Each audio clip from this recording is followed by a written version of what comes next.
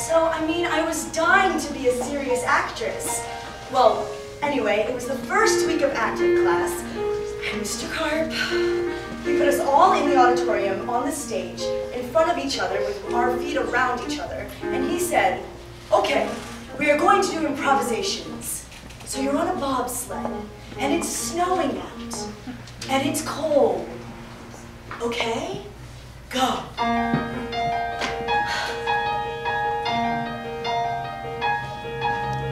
Every day for a week we would have to feel the motion, feel the motion down the hill.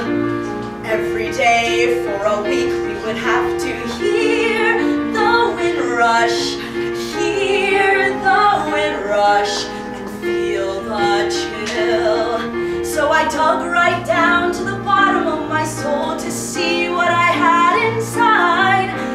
Dug right down to the bottom of my soul and I tried.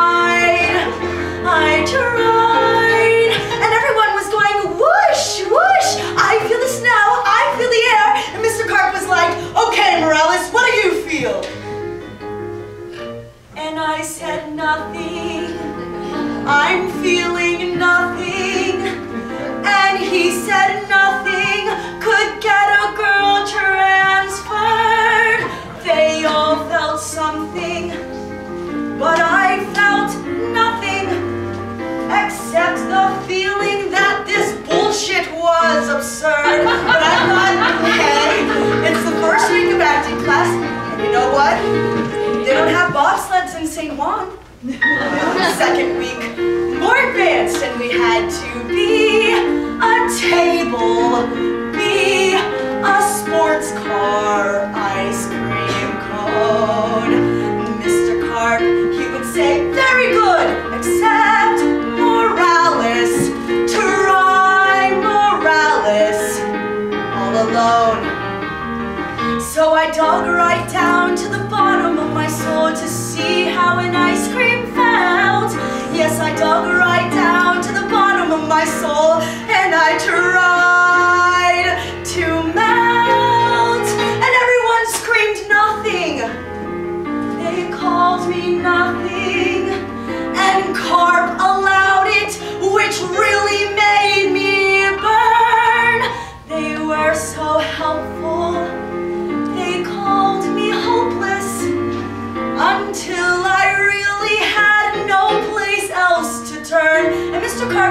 you know, Morales, you should just transfer to Girls High. You'll never be a serious actress. Jesus Christ!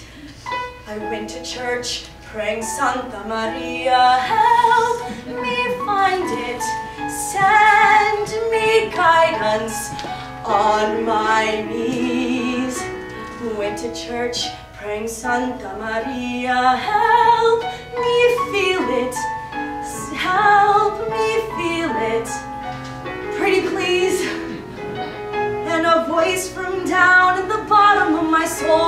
up to the top of my head. And a voice from down in the bottom of my soul, this is.